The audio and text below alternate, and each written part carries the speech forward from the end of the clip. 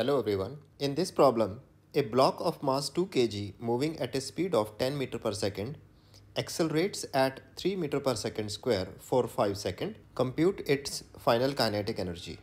So in this question, the given data is mass is 2 kg, the velocity is 10 meter per second and acceleration is given as 3 meter per second square and the time is 5 second.